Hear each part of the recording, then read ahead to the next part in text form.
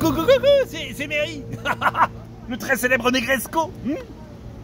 Les vieux Et la mer Turquoise, magnifique Cannes À Croisette Super. Alors par contre, sur le plan festival cette année, c'est. Je suis un petit peu déçu parce que les escaliers, les marches, regarde, les marches, regarde les marches.